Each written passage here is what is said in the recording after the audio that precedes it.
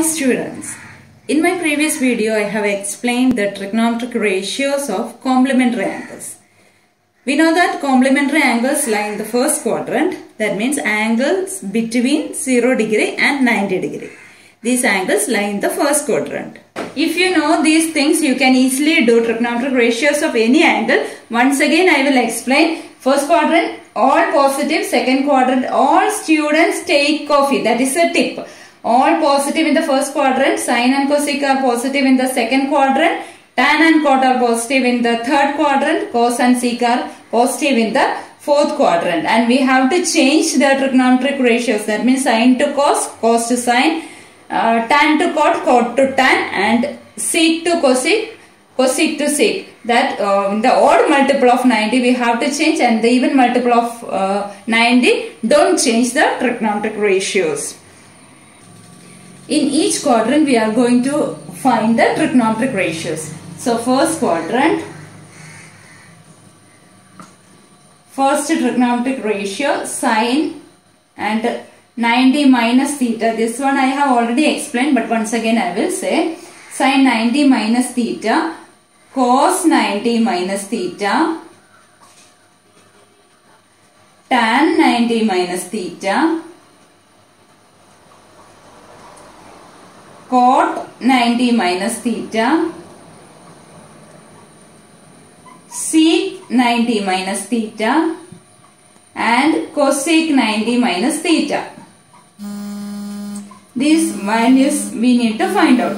And we know that in the first quadrant all trigonometric ratios are positive and 90, 90 means it is the odd multiple of 90. So sine will change to cos. So cos theta is the answer.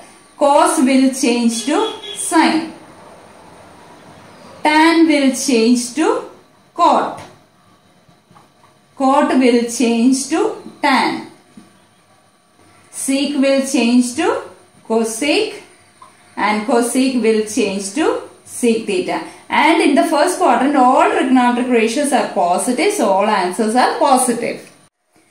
Next 360 plus theta also comes in the first quadrant. So we need to find sine 360 plus theta cos 360 plus theta tan 360 plus theta cot 360 plus theta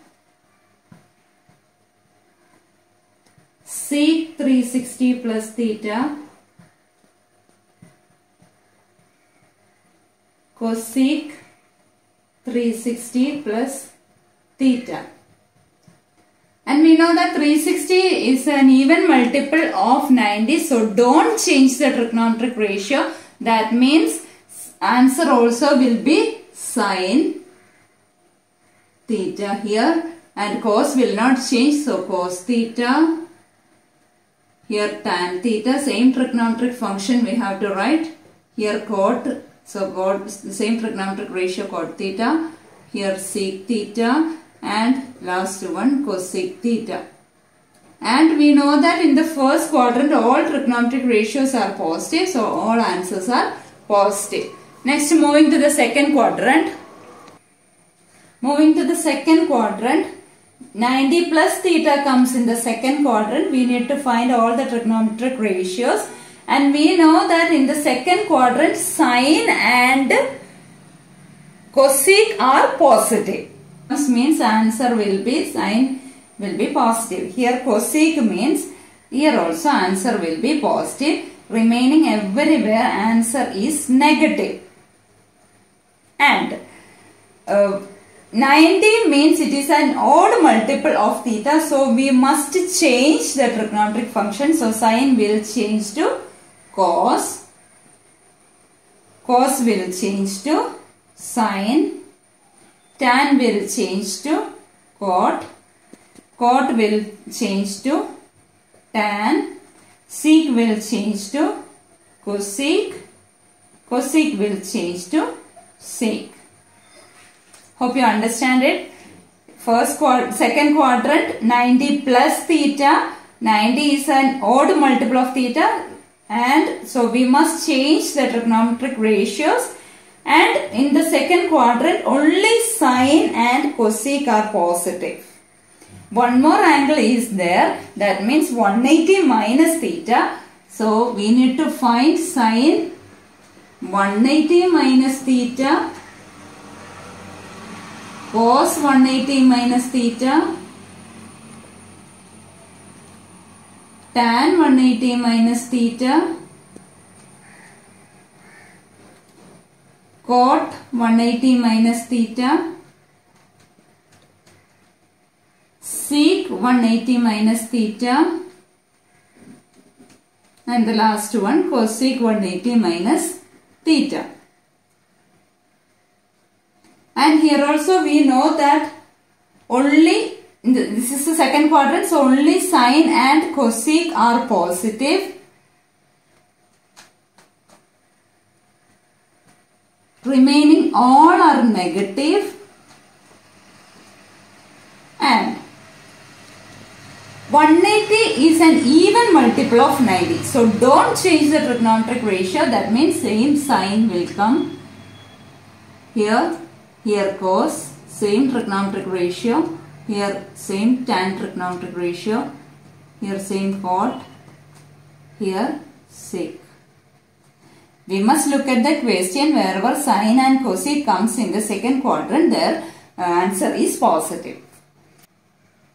Cosec 180 minus theta is cosec theta. Moving to the third quadrant.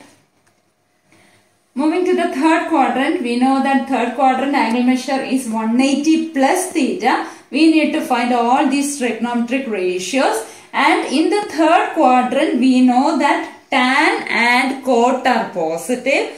So here tan is positive and cot is also positive. Remaining all trigonometric functions are negative.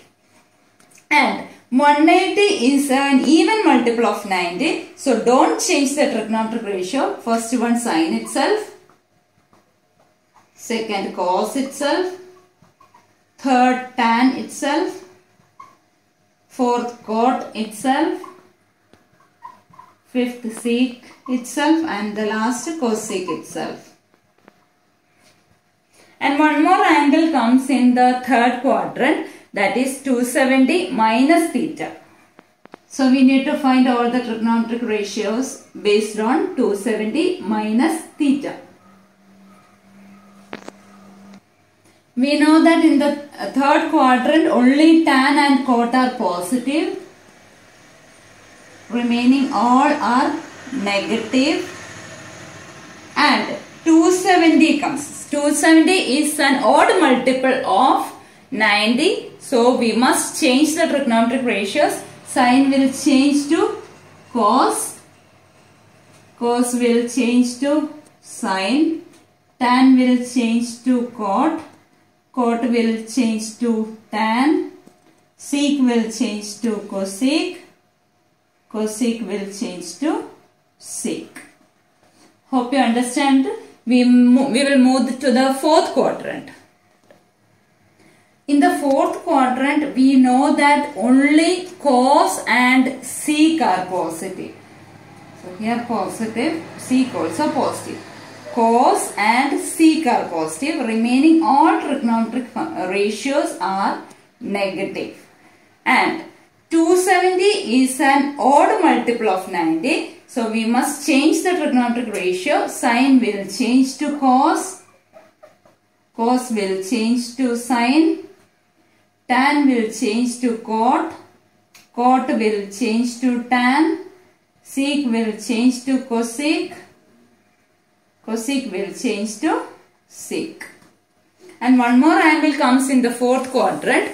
That is 360 minus theta. We need to find the trigonometric ratios of based on 360 minus theta.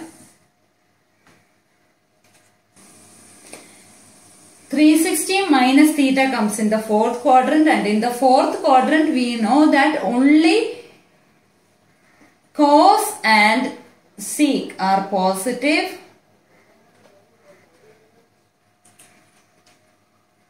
And 360 is an even multiple of 90 so don't change the trigonometric ratio.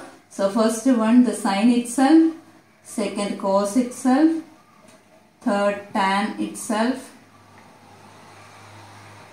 fourth cot itself sec sec itself and cosec cosec itself the fourth quadrant only cos and sec are positive remaining all are negative so you can easily find out the, the trigonometric ratios of any angle.